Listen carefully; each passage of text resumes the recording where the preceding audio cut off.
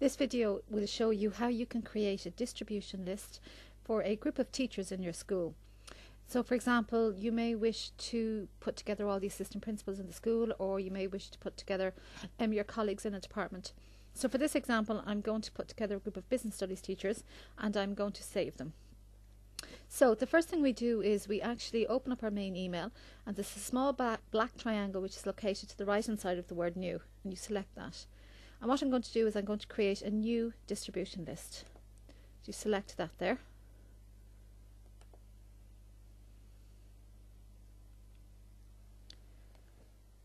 Okay, so the list name, I'm going to call this um, Business Teachers in DCC. And now I come down to the next line and rather than typing in teachers names I click on the members icon here.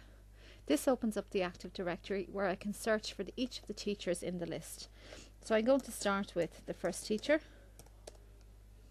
There she's there. So just double click on her and select members and she pops down there. Next teacher. Make sure he's clicked there into members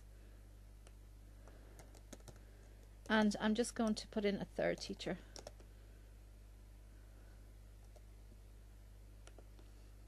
So it's this teacher I want, so I select it there in gold, select members and so on. So at this stage I have three teachers in, I simply select OK. Now at this stage you have three teachers' names listed up here, but it's important that you select this button here, Add to Lists, and the names of the teachers will drop from ab above this line to below it. So add to list and you can see the names have gone down there. Okay, so I simply save and close that list. So now I have created that distribution list and now I, um, at some stage in the future you may wish to send them all an email. This distribution list saves you typing in their names each time. To locate your distribution list you come down here to where it says the word contacts and you select that. You can then find all the distribution lists that you've created.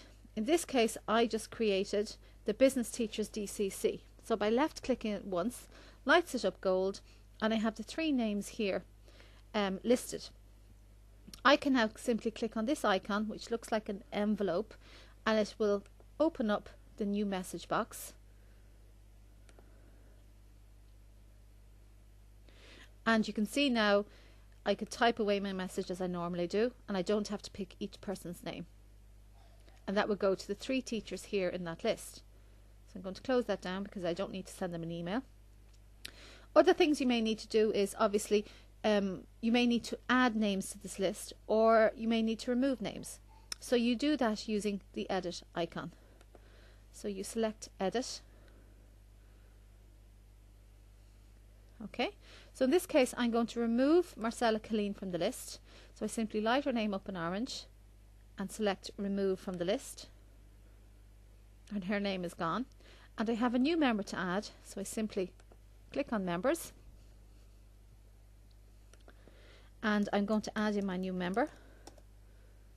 She's there, click her there, select members, select OK. And again, don't forget to add their name to list and save and close. Okay, so you can see now my list has changed. Marcella has gone and Bethan is in. Um, so that's to send them a message. That's to edit it. And this icon here is to send them a meeting request. Very similar to sending an email. Just select that little icon there. Okay, so what you're doing is um, sending a meeting request. Now the words required, optional and resources refer to people. So in this stage, I'm requiring that the business teachers attend. If you would like anyone else to attend, you could simply click on the word optional and the Active Directory opens up and you can search for them. So I'll close that down. I don't want anyone else to come. The subject is um, subject meeting. Where are you going to have it?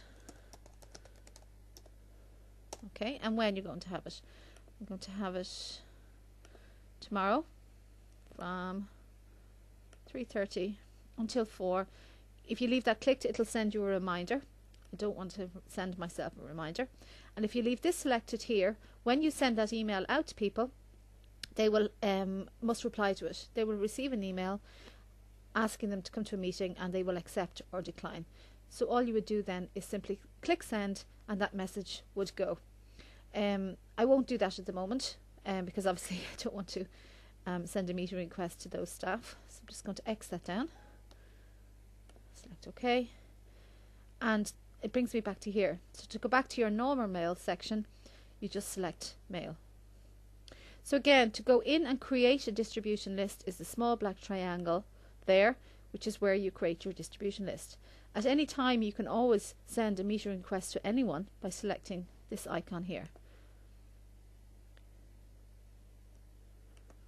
Okay, if you click it up there, the same box opens up, and if you required um, somebody to attend a meeting, you would just select required there and open up the Active Directory and search for them as normal. Okay, so I'll cancel that down. And that's basically how to create a distribution list for staff within County Meath VEC.